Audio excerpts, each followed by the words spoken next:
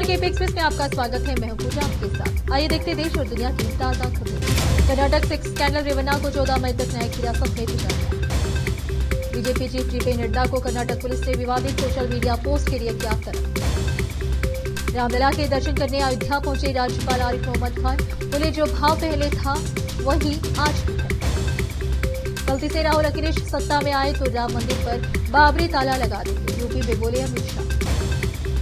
हर दिन अडानी अंबानी की सच्चाई जनता के सामने ला रहे राहुल प्रियंका गांधी। चौली एलएलबी तीन में अक्षय कुमार की पुष्पा पांडे वन हुमा कुरैशी की हुई एंट्री, फिर लोटपोट होने को हो जाए तैयार। अमेरिका ने इसराइल को दिया तगड़ा झटका, रोक दी है गोला बारूद की सप्लाई। दिल्ली में आरएमएल अस्पताल के दो डॉक्टर समेत नौ लोग गिरफ़्तार, मरीजों से रिश्वत लेने के आरोप के बाद सीबीआई का एक्शन महाराष्ट्र के छत्रपति संभाजीनगर शहर में ईवीएम में छेड़छाड़ के लिए मांगे थे दो दशमलव पाँच करोड़ रुपए।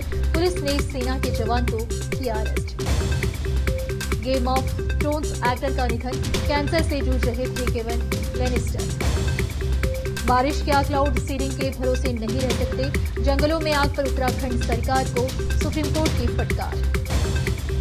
पूर्व में रहने वाले चीनी तो दक्षिण के लोग दिखते हैं आपको सैम पित्रोदा के बयान पर मचा बवाल चमड़ी का रंग कोई भी हो सैम पित्रोदा के नस्लीय बयान पर पीएम मोदी का राहुल गांधी पर चढ़ा, कहा शहजादा को जवाब देना होगा। तो प्रधानमंत्री नरसिम्हा राव का परिवार पीएम मोदी से मिला, भारत रत्न के लिए जताया आभार। ब्रिटेन की जेल में बंद भारत के भगोड़े, पीएम मोदी को कोर्ट से लगा बड़ा झटका, जज ने खारिज की याचिका। मिस्टर एंड मिसेस माही बनेंगे राजकुमार राव और जानवी कपूर दिखाएँगे इम्परफेक्ट लोगों की perfect love story Ranchi Jharkhand के ग्रामीण विकास मंत्रालय में ईडी की छापेमारी दिल्ली सीबीआई ने भ्रष्टाचार के मामले में नौ लोगों को अरेस्ट किया तो डॉक्टर्स भी शामिल। अधीर रंजन चौधरी की वजह से बंगाल में इंडिया ब्लॉक का गठबंधन टूटा, अभिषेक बनर्जी झारखंड मंत्री आलमगीर के पीएएस संजीव लाल के कमरे की तलाशी ले रही अरविंद केजरीवाल की अंतरिम जमानत पर शुक्रवार को आ सकता है फैसला।